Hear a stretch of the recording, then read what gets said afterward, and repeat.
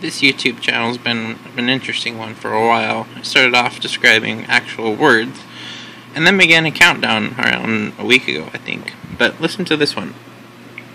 They're already building a barrier. Something is going to happen in 40 days. And then there's a long audio track at the end of nothing. See that? But there is something there. I just can't decide what it is. You can hear it barely. But that one's creepy.